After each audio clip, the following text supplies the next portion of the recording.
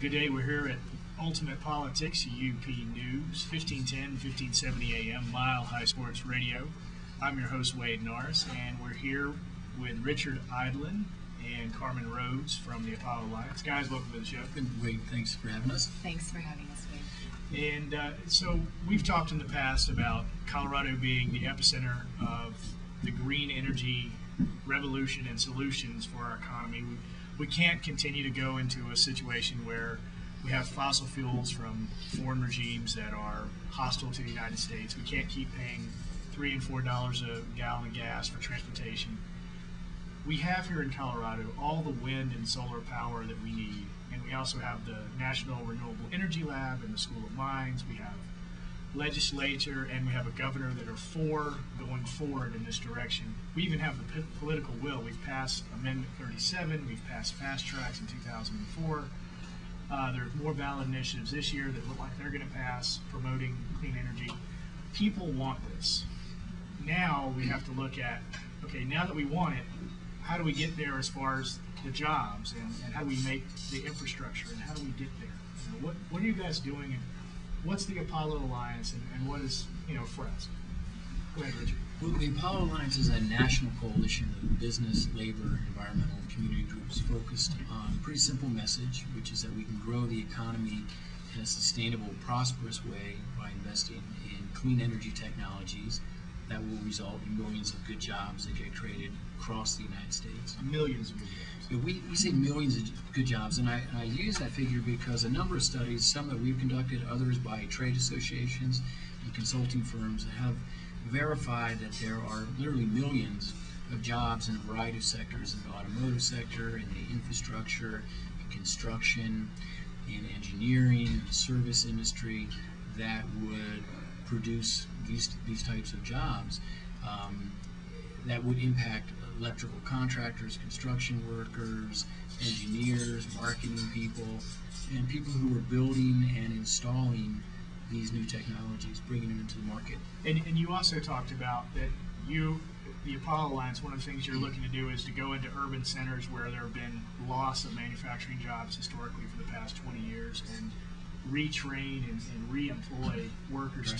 to, to make solar, uh, I guess solar panels or, or the intricate parts that go into wind turbines. Yeah, historically, as, as you probably know, you know, some of the most uh, important technologies that have been developed in the United States but have been commercialized elsewhere and have now been reintroduced into the. So, you examples of that are in the solar and wind industry. and as we look out, particularly in the industrial Midwest, we find tremendous opportunity to create a manufacturing base again. There are lots of facilities there that are lying dormant. There are many skilled workers.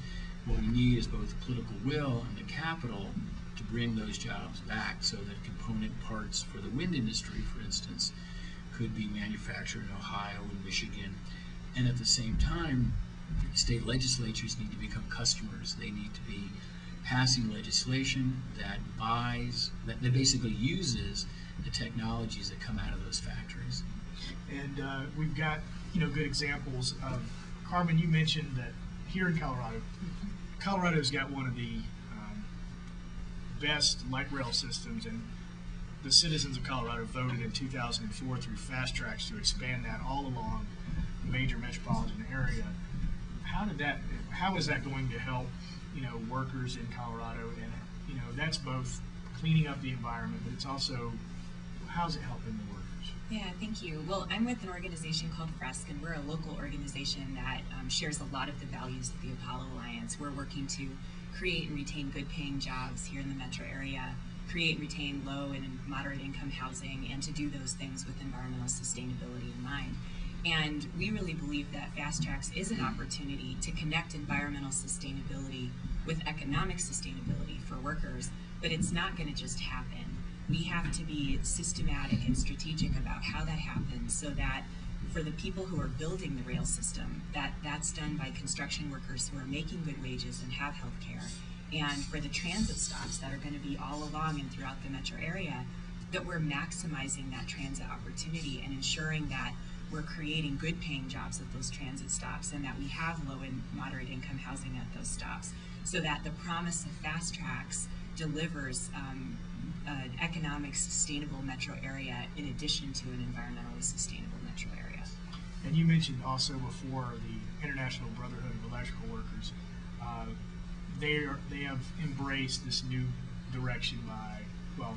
Right. I. I think it's one of the best kept secrets in Colorado, actually. I, I think what a lot of people don't realize is that um, organized labor and specifically the building trades are really training this next generation of construction workers that have the skills that are needed to use the new technologies and to be able to um, build with environmental sustainability. And so the electrical workers here in Denver have installed a solar panel at their union hall. It was used as a training opportunity for some of the folks that were learning those new skills.